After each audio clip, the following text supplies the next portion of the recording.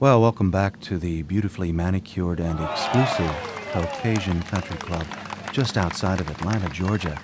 Picking up the action on the challenging par 3 17th hole. A terrifying, treacherous hole if I've ever seen one. Yes, it is, Gary. Uh, Nikki Gerrans is on the tee right now, and Nikki is quite a player.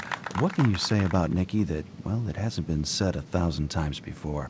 Um, about Nikki? Yes. Uh, well, he's got a brother serving 25 to life for manslaughter. That, that's right. I don't think right. anybody ever said that I before. don't believe they have, no. And of course, his daughter Elizabeth uh-huh. has that inverted left nipple. That's which right. has been very tough on the entire Sure, family. It really has. Oh, oh, Oh, wow. oh. nice shot. He's on the green there, It's on the front shelf, but that will funnel back over the slope. Now, Bob Watson's up on the tee, and Bob is definitely going to try to get inside of Nicky on this hole, don't you think? uh, yes, I do, Corey, and that should stop play for It- the it afternoon. probably if would, he yeah. Does that. Close to the gong because was why you left a musical at intermission.